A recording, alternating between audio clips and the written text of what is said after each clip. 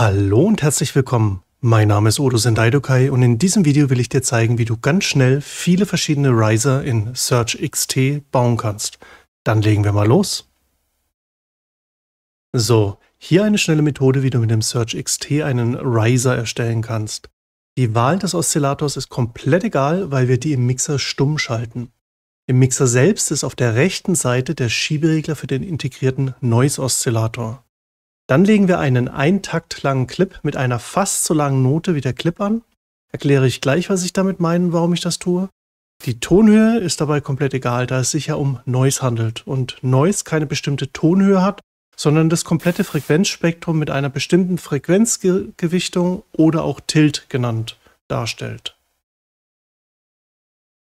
Das oder der Tilt besagt zum Beispiel, ob tiefe oder hohe Frequenzen geboostet oder abgesenkt werden oder ob alle Frequenzen gleich laut sind. Zu diesem Thema kannst du dir dieses United Colors of Rauschen Video von mir anschauen mit dem Titel Musik Noise Pink, White, Brown, Red, Blue, Violet, Gray. In Search XT gibt es einen Schieberegler, mit dem du diese Balance bzw. der Tilt und die Gewichtung von tiefen Frequenzen auf hohe Frequenzen verschoben werden. Grob gesagt von Pink nach White Noise und höher.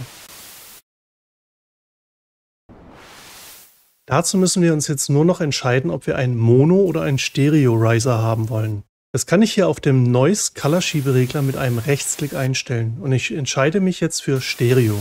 Je nachdem, welchen Effekt ich erzielen möchte, kann ich natürlich auch mit Mono anfangen. Der Clip ist erstellt und die fast so lange Note auch. Und jetzt kommt ein kleiner Workflow-Tipp. Die Note ist deshalb fast so lang, weil ich innerhalb des Clips die Automation wieder neutralisieren kann. Der Endwert entspricht dem Startwert. Diese in sich abgeschlossene Automation, also der Startwert ist auch der Endwert, hat zwei große Vorteile.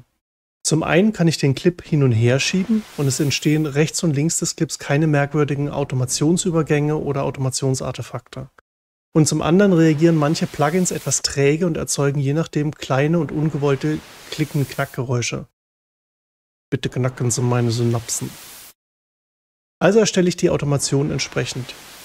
Je nachdem, wo ich den Startwert des Noise setze und wie er einsetzen soll, kann ich hier rechts mit dem Amp oder Volume Attack einen sanften oder harten Beginn des Sounds definieren. So, und fertig wäre ein einfacher Stereo-Riser. Ohne diese vielen Erklärungen ist so ein Riser innerhalb von 30 Sekunden erstellt. Jetzt können wir aber noch einen Schritt weiter gehen und noch ein wenig mehr Effekt in den Riser bringen. Dazu verlängere ich gleich mal den Clip um einen weiteren Takt, weil ich noch weitere Automationen für die folgenden Effekte hinzufügen möchte. Und zwar Mono, einen Rotary, Ping-Pong Delay, Reverb und Bitcrusher. Der Mono-Effekt. Ich kann von Mono nach Stereo oder von Stereo nach Mono gehen, je nachdem, ob ich mit dem Riser eine eher enge, eindimensionale und druckvolle, also Mono, oder eine eher weite, dreidimensionale und flächigere Stimmung, also Stereo, erzeugen will. Ich mache das hier mal von Stereo nach Mono. Dazu greife ich mir den Search XT Schieberegler oben rechts im Scene Output, erstelle eine eintakte lange Automation und fertig ist der Effekt. Der Rotary-Effekt. Der Rotary-Effekt ist eine Nachahmung der sich drehenden Leslie-Boxen bei den alten Hammond-Orgeln. Das ist nicht zu verwechseln mit einem Rechts-Links-Panning. Dazu wähle ich in der Effektsektion bei der Szene A ein Kästchen mit Klick auf die rechte Maustaste, den Rotary-Speaker und dann Slow aus und schiebe dann an der Horn-Rate hier unten rum, bis ich eine geeignete Geschwindigkeit gefunden habe. Natürlich kann ich auch die Hornrate automatisieren, um die Bewegung langsamer oder schneller zu machen. Mach das mal von langsam nach sehr schnell. So. Erstmal diesen Effekt deaktivieren mit einem Doppelklick und zum nächsten Effekt. Das Ping-Pong-Delay. Ich wähle jetzt ein zweites Kästchen für die Szene A in der Effektsektion aus und wähle Delay, Ping-Pong ein Sechzehntel. Als erstes stelle ich den Mix-Schieberegler ganz unten auf maximal 50% zurück. Dann drehe ich weiter oben bei der Delay Time den Left-Schieberegler hin und her, bis ich was Interessantes gefunden habe. Das war's auch schon. Je nachdem, ob ich von Mono nach Stereo oder Stereo nach Mono fahre, kann ich natürlich auch den Delay-Mix-Regler automatisieren. Allerdings, hier sollte ich dann den zweiten Takt des Clips nutzen, um beim Öffnen des Effekts, also von 0 Richtung 50 oder mehr genügend Zeit zu haben, dass der Effekt auch wirklich nachklingen und ich ihn wieder auf den Anfangswert zurückstellen kann. So, diesen Effekt auch wieder mit dem Doppelklick auf das Kästchen deaktivieren. Das Reverb. Das Reverb kann ich ähnlich dem Ping-Pong-Delay konfigurieren. Ich wähle mal den Reverb 2 Deep Ambient Reverb und verändere ein paar Parameter wie Decay Time, Dry Wet Mix und sowas, bis der Effekt so klingt, wie ich es möchte.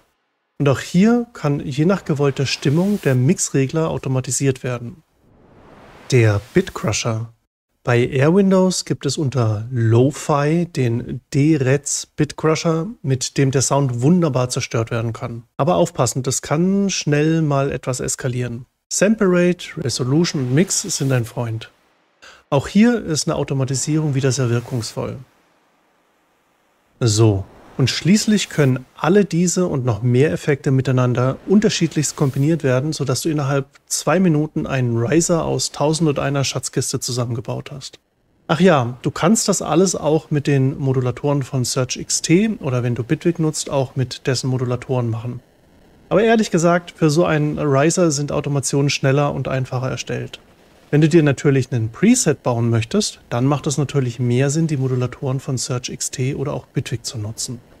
So, und das war's auch schon wieder. Mein Name ist Udo Sendaidokai, danke für deine Zeit und deine Aufmerksamkeit und ich hoffe, dich im nächsten Video wiederzusehen. Bleib gesund und rette die Zukunft. Mach's gut.